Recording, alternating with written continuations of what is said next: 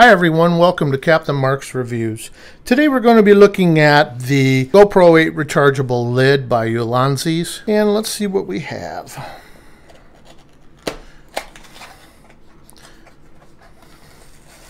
I'll pull it out.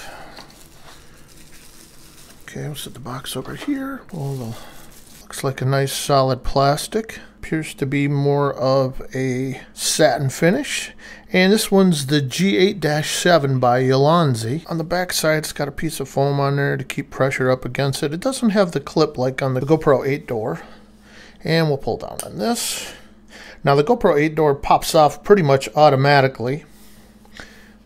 And it has a little clip on the top. So here we can compare the two. So fairly the same same size. The GoPro 8 door feels a little bit more solid. But you can see the big opening in this. So let's try the new door on the GoPro 8.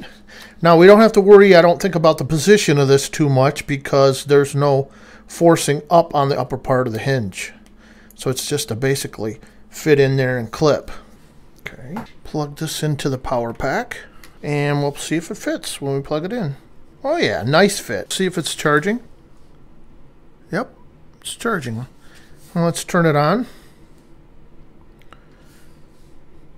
And an indicator shows that the battery is charging. Like I said, it's not waterproof but uh, it will keep the dust and debris out, make it a little easier for you to do some blogging or time lapse or something that you need to have extra battery life. Okay, well that's my review for the GoPro 8 Ulanzi door with the USB-C. So if you like my video and you see this was helpful or anyway, why don't you hit the subscribe button down below and hit the bell to the right so you can see my upcoming videos. I have a lot more to come. Thank you.